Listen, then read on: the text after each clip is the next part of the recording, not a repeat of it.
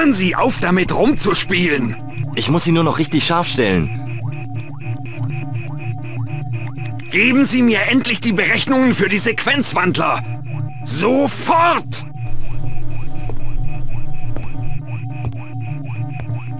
Hier, die sind schon überprüft.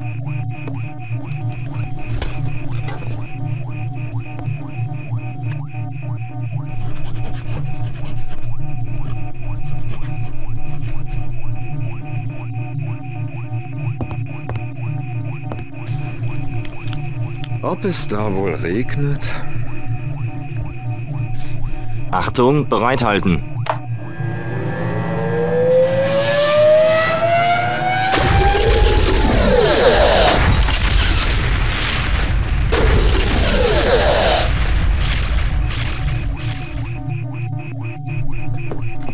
Und? Haben Sie ihn gefunden? Hitler ist aus dem Weg. Gratuliere, Professor. Wenn Hitler beseitigt ist, dann... Das wird die Zeit zeigen. Früher oder später. Die Zeit wird es zeigen.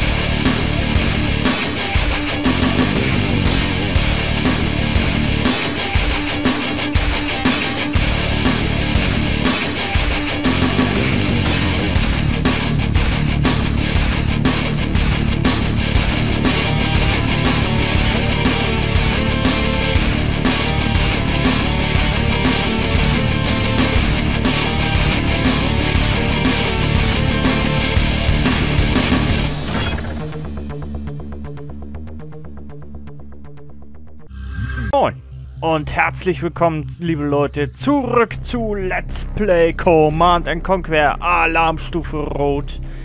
Dieses Mal allerdings auf Seiten der Sowjets. Damit werden wir gleich anfangen. Zuerst möchte ich euch sagen, ähm, ich habe ein bisschen pausiert. Bin jetzt frisch zurück aus einem kreativen Urlaub, sage ich jetzt einfach mal so. Also aufnahmetechnisch. Ich habe nämlich ordentlichen Vorrat aufgenommen bei CDR. Und äh, ja, wie gesagt, wir machen gleich mit den Sowjets weiter. Also diejenigen von euch, die tatsächlich hier das erste Mal reinschauen, das Spiel vorher gar nicht gesehen haben, für die werde ich das Spiel dann auch gleich nochmal ein bisschen erklären, obwohl sich das eigentlich, wenn ihr Tiberian-Konflikt schon geguckt habt, so ein bisschen äh, selber erklärt. Aber okay, ich werde es trotzdem gerne nochmal für euch dann erklären, für die Leute, die es nicht geguckt haben, bei der Allianz.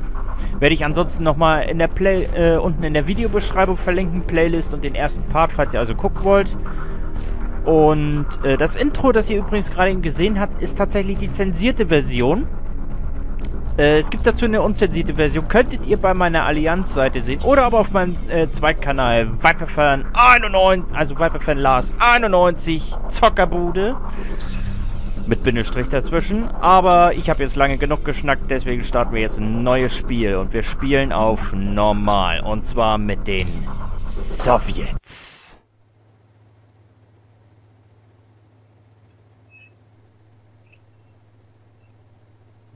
Gradenko, wie lange hat es gedauert, bis die Wirkung eintrat?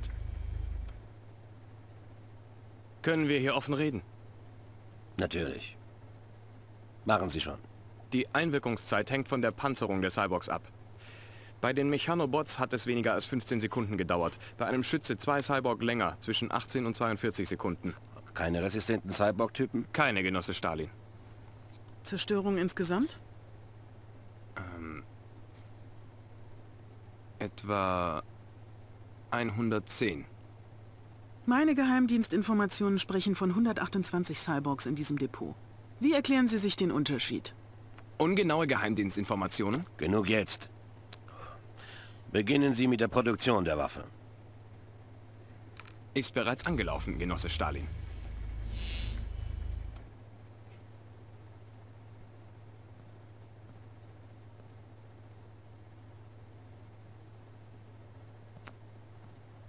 Hier übrigens ein Neuzugang.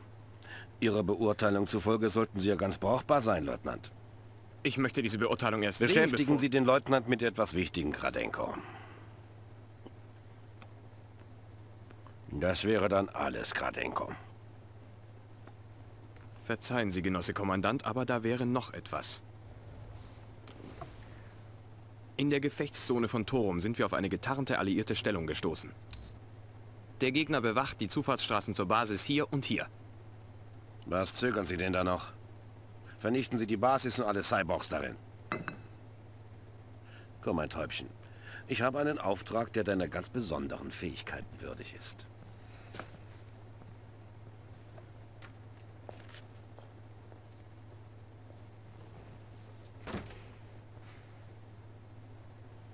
Dann schauen wir doch mal, wie Sie sich anstellen. Begeben Sie sich nach Torum. Vernichten Sie alles dort. Hinterlassen Sie keine, keine reparierbaren Überreste.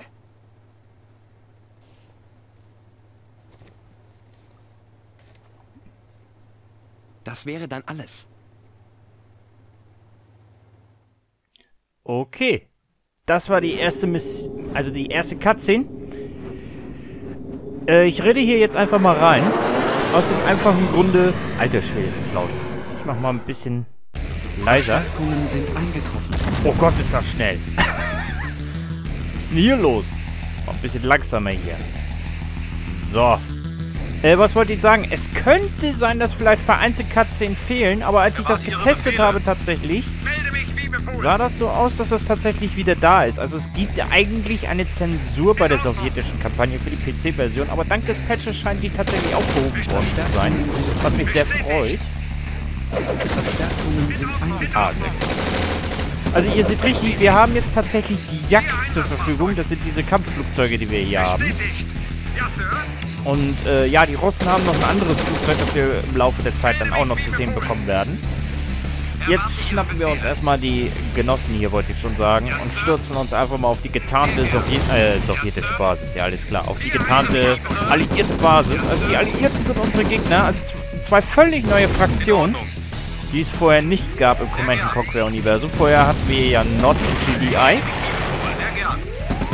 Und äh, ja, aber einige vertraute Einheiten aus dem Tiberium-Konflikt sind äh, wieder da mit dabei, wie zum Beispiel die Schützen oder die Grenadiere. Und der Jeep hier, der erinnert mich immer so ein bisschen an die Kampfbuggies und die Blitzjäger, die ja beide Seiten zur Verfügung hatten damals.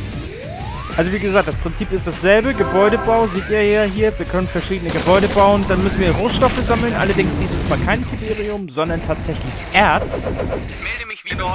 Und äh, ja, die typische Aufgabe bei Command Conquer ist einfach alles platt machen und äh, ja, kommandieren und erobern. So heißt es ja auch eigentlich auf Deutsch. Und äh, ja. Schicke jetzt einfach mal die äh, Jacks gegen die Bunker hier los. Also die Fässer, die sorgen dafür, dass die Objekte schneller in die Luft fliegen. Und die erste Mission, ihr seht das ja hier, das ist eigentlich eine ganz einfache Kiste. So.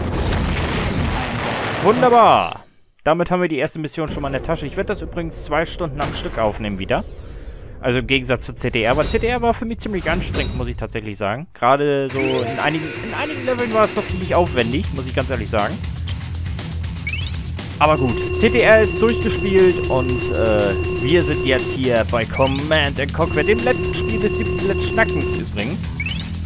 Und äh, gestern kam mein 100 Abo Special raus. Gestern Abend. Und es kam bisher sehr gut an bei euch. Das freut mich wirklich sehr. Und jetzt gehen wir nach Deutschland.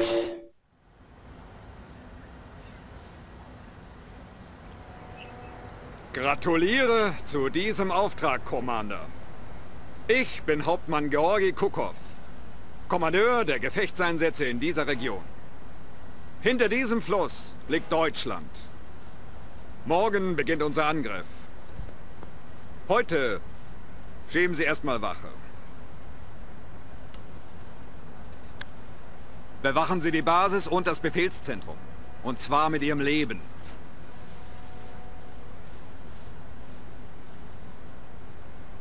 Die Alliierten kommen unseren Stellungen immer näher. Achten Sie auf Hinterhalte.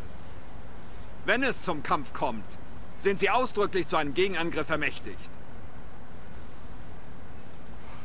Wir sehen uns dann in Berlin. Okay. Also meine Theorie ist ja so ein bisschen, dass das ja im Zeitraum des Zweiten Weltkrieges spielt. Nur eben halt nicht, dass der von Deutschland ausgelöst wurde, sondern von den Russen. Also wir sind die Aggression tatsächlich. Und hier gab es schon zwei Punkte, die mich ein bisschen verwirrt haben am Anfang. Und zwar folgendes. Erstens, wir haben keine Raffinerie. Das ist schon mal der erste Fehler. Und zweitens, welchen Rang haben wir denn so? äh, zuerst heißt es, ja, wir sind ja ganz brauchbar Leutnant. Und jetzt heißt es auf einmal, ja, Commander. So, hä? Was sind wir denn jetzt? Sind wir Commander? Sind wir Leutnant? Was denn nun? Entscheidet euch doch mal. Mano. Sehr gern. Ja, Sir. Ja, Sir. Gut, wir werden jetzt erstmal die Alliierten abwehren. Ihr seht auch, die Farbe hat sich geändert. Also die Alliierten bestehen tatsächlich aus mehreren Farben. Äh, die Russen eigentlich auch, aber hauptsächlich werden wir, upsala, werden wir als Russe hier alleine unterwegs sein. Genauso wie es ja eigentlich auch hauptsächlich bei den Alliierten der Fall war. Du wagst es mal drauf anzugreifen, schäm dich. Ab in die Grube mit dir. Gut, okay, dann werden wir jetzt erstmal dafür sorgen, dass wir ein paar Sammler haben. Ein oder zwei Sammler dürfen ja genügen. Und dann werden wir uns darauf konzentrieren, dass unsere rote Armee ein bisschen größer wird. Denn ja, wir kontrollieren ja jetzt die rote Armee. Und wie gesagt, das Prinzip ist das übliche wie bei äh, Tiberium-Konflikt. Äh, Raffinerie wird gebaut, Sammler geht an die Arbeit. Beziehungsweise hier heißt er ja offiziell Erztransporter. Äh, aber für mich sind es trotzdem weiterhin Sammler. Prinzip ist übrigens auch dasselbe. Der Sammler kostet normalerweise 1400, die Raffinerie 2000, also 600 geht gerade mal für die Raffinerie drauf, der Rest für den Sammler. Ähm, ja, was kann ich euch noch erzählen? Ja, es gibt einen Unterschied. Ich habe ja Schwierigkeitsgrad normal gewählt. Würden wir tatsächlich auf den Schwierigkeitsgrad leicht spielen, würden sich tatsächlich die Kosten der Gebäude und der äh, Einheiten ändern, und zwar zum Vorteil. Die würden also günstiger werden. Das habe ich aber bewusst nicht gemacht, weil, ja, ich spiele lieber gerne auf normal. So, jetzt wollen wir nochmal eben ein weiteres Kraftwerk. Die Kraftwerke haben dieselbe Aufgabe wie beim letzten Mal, versorgen also unsere Basis und auch unsere Basisverteidigung mit Energie. Und jetzt bauen wir eine Kaserne. Übrigens, es gibt keine speziellen Kasernen, also sowas wie die Hand von Nord gibt es hier nicht. Die sehen hier einfach ganz normal aus. Also so wie die GTI-Kaserne. Nur die äh, Sowjet-Kaserne und die äh, alliierte Kaserne unterscheiden sich nur geringfügig. So, und dann bauen wir jetzt erstmal ordentlich Schützen. Normalerweise würde hier tatsächlich auch Cyborg stehen, aber dank des Patches, das ich ja drauf habe, was übrigens auch für die Cutscenes sorgt, ähm, fällt der Begriff weg. Also es sind. Hier eigentlich. Soldaten, aber durch die Zensur, die hier eigentlich greift, sind es auch gleichzeitig Cyborgs. Und hier ist es so ein kleiner Kompromiss. Sie werden als Menschen dargestellt, sind aber eigentlich Cyborgs. Ja, das ist kurios, ich weiß, es ist ein bisschen verwirrend. Ja, und wie gesagt, wir können hier Stacheldrahtzaun bauen. Das sind die Dinge hier. Wir brauchen hier auch tatsächlich wieder Silos. Also hier gibt es den üblichen Satz, wir benötigen Silos. Der Flammenturm ist die Basisverteidigung, der so angreift wie die Flamme der Läuterung aus dem Tiberium-Konflikt. Und der Hundezwinger, der ist tatsächlich neu. Da können dann nämlich unsere Terminator-Wachhunde rekrutiert werden, die normalerweise dafür da sind, um Spione abzuwehren. Denn ja, hier gibt es Spione. Aber die KI setzt eigentlich nie so wirklich Spione ein im ersten Teil. Jedenfalls habe ich das noch nie erlebt, dass sie einen Spion einsetzen. Die Kommandozentrale eigentlich beschädigt? Ja, ein bisschen, minimal. Wir könnten theoretisch auch Jacks bauen, aber hier spare ich mir das. Das Flugfeld hier, das hat ja im Tiberium-Konflikt tatsächlich bei NOTS die Funktion als äh, Fahrzeugproduktion zu dienen. Hier ist es lediglich für Flugzeuge da und für zwei oder drei besondere Aktionen. Sprich, ähm, ja, ich werde es nicht verraten, ihr werdet es ja nachher noch sehen. Falls ihr die alliierte Kampagne nicht schon gesehen haben solltet, dann wisst ihr nämlich äh, definitiv, was es da gibt. Einheit Ich rekrutiere jetzt erstmal, das geht nicht mehr. Das habe ich übrigens nicht angesprochen. Äh, was nämlich neu ist, äh, wenn die Kaserne fünf Leute rekrutiert hat, die stehen direkt davor, dann teilen die sich auf. Das war damals beim Tiberium-Konflikt nur bei der KI so. Bei unseren war es nicht der Fall. Ihr seht ihr es jetzt, da waren fünf und vier von denen haben sich gleich in Bewegung gesetzt. Ja, Sir. So, gut. Ich habe euch jetzt gerade ein bisschen zugelabert. Jetzt bin ich einfach mal kurz ein bisschen ruhiger und ich trinke währenddessen erstmal was. Scroll auf euch, auf meine über 100 Abonnenten und Zuschauer. Freut mich sehr, dass ihr eingeschaltet habt.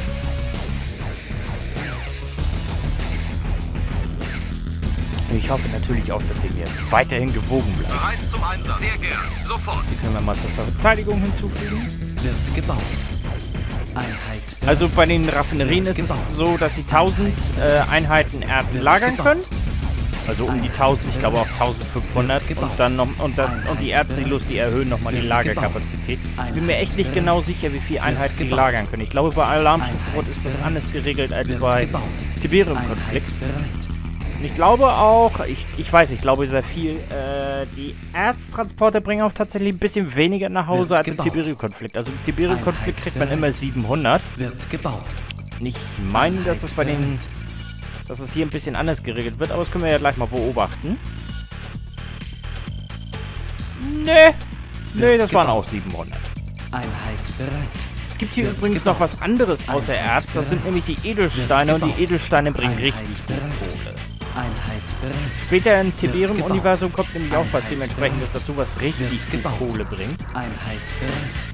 Wird So, gebaut. jetzt gehen sie nicht mehr weiter. Jetzt bauen sie sich dahin Wird aus. gebaut. Okay. Können wir eigentlich das hier verkaufen? Tatsächlich, das geht. Wird gebaut. Habe ich nie ausprobiert. Wird gebaut. ich ehrlich bin. Ich glaube auch, dass ich keine Mauern bauen werde, großartig.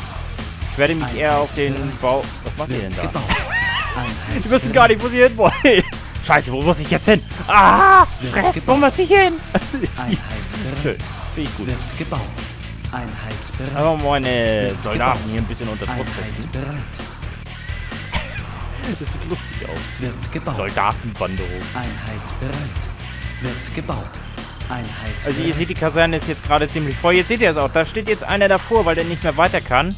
Leider nicht Und möglich. deswegen geht Es das jetzt nicht mehr. Die Produktion ist also voll. Das wird dann jetzt Gruppe 2 und Gruppe Sofort. 2 marschiert vor. Vorwärts, Freunde. Ich baue übrigens keine Grenadiere, das hat einen bestimmten Grund, denn die Grenadiere haben die Gefahr einer sogenannten, einer sogenannten Kettenreaktion. Bedeutet, wenn wir mehrere von denen haben und einer von denen wird gekillt, kann es passieren, dass die anderen Wird gebaut. mitgekillt werden. Durch die Explosion, die der andere verursacht hat. Wir haben kein Herz mehr. Scheiße. Fuck. Nicht gut. Konstruktion Bestätigt. Fahrt man auch unten. Ich glaube, unten war noch ein bisschen Erz.